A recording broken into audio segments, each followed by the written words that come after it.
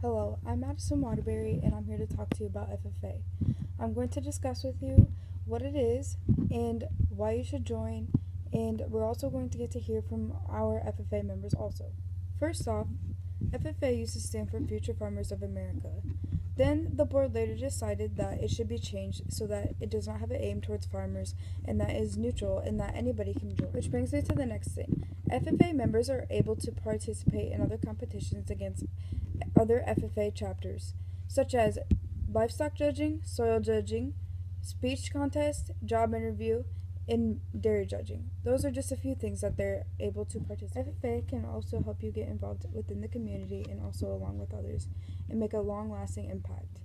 Also, for instance, it can take you many places, such as our member Haley Shope. She got to take a trip to Washington D.C., Kentucky, and Florida, all through FFA. Next, I asked our school FFA members why they decided to join FFA, and also our past advisor and our current advisor why they wanted to be an FFA. I joined advisor. FFA was to become a leader, and because you get to travel and get out of school. I joined FFA because I thought it would be an amazing learning experience for something that I didn't know very much about. And after I did, after I joined it, it was pretty great, and a lot of people influenced me in different ways.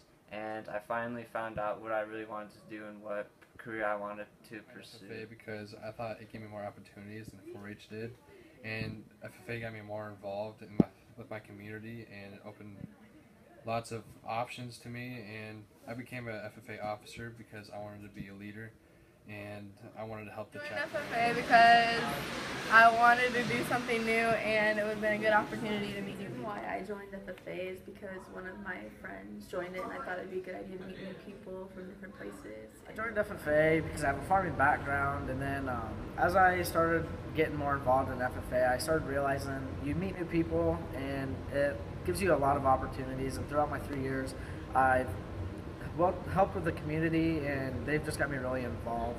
And you know, people skills have brought that into me too, so it's helped me out in a lot of ways, and I really enjoyed it. I joined FFA because I wanted to make a difference in the community and meet new people at all the leadership conventions. I joined FFA because I'm a fourth generation FFA member. All my family's been in it. I live on a farm.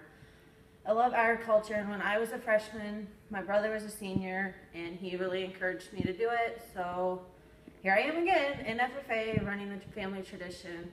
And FFA will take you places such as I went to Washington, D.C., and Florida, Kentucky. It just takes you everywhere, and it's a great opportunity to be in while you're in high school. I joined FFA because I'm a farmer. And I need to learn my other farmer techniques so when I get older I can farm. Our FFA kids needed a sponsor this year, and since I was involved with county fairs and state fairs, I thought I'd be the most likely one to help help them out. So I was happy to do that. Um, as far as joining FFA, you know, it's a program that does a lot for our kids. It's a big part of the community.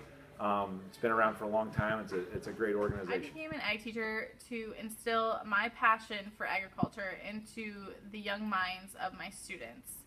I think that you should join FFA because it is a great place to um, grow your career presence along with your and along with your leadership. I decided to join FFA because I have an ag background, and I thought it would be a good opportunity to get me out of my comfort zone and to meet new people and to step up and be a leader.